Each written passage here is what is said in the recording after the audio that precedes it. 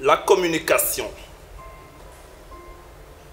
La communication est pour le manager ce qu'est la circulation sanguine pour l'organisme humain. La vie est un théâtre. La société, une dramaturgie. Le manager est l'élément essentiel de l'entreprise. Et la seule arme pour convaincre en entreprise ou en société demeure la communication sous toutes ses formes. Mesdames et messieurs, c'est pourquoi, d'évidence, la communication est la compétence fondamentale que tout leader doit posséder. C'est pourquoi également, un bon manager se doit d'être avant tout un bon communicant.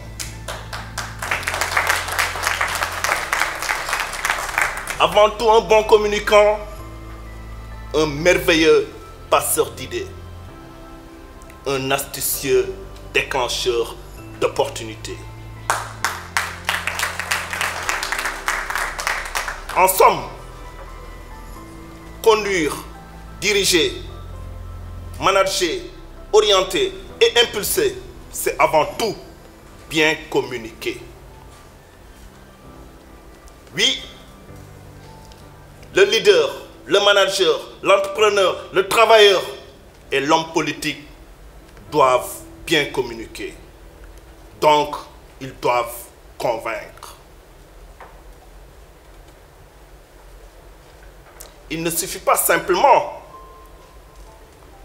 d'avoir le bon message. Il faut également être un bon messager. Si le rôle du manager se résume aux quatre verbes cardinaux, planifier, organiser, diriger et contrôler, il n'y a pas que seulement cela. Il faut également qu'il y ait une communion, une parfaite combinaison entre l'action et la parole. Mesdames et messieurs, je vous invite à dérouler avec moi quelques qualités indispensables d'un bon manager. Premièrement, le manager doit avoir le sens de l'écoute. Oui, le sens de l'écoute pour considérer l'autre, comprendre ses problèmes. Deuxièmement, le manager doit faire preuve d'empathie. Oui, l'empathie pour être à la place de l'autre afin de mieux appréhender son état d'esprit. Troisièmement, le manager doit faire preuve d'une communication non violente. Oui, la communication non violente pour faire connaître ses intentions et de les faire accepter. Mesdames et messieurs, chers membres du jury, charmant public, la communication en entreprise vise à faire grandir ses agents, aussi bien en confiance qu'en compétence. Et ceci est tellement vrai que les chefs d'entreprise qui mettent la communication au cœur de leur style de management quotidien obtiennent de bien meilleurs résultats que les autres. De vrai en vrai,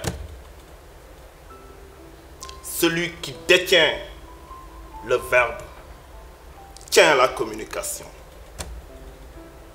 Celui qui détient la communication tient la communauté. Celui qui détient la communauté tient la communion des cœurs et des esprits. D'où l'importance de l'école d'art, oratoire et de leadership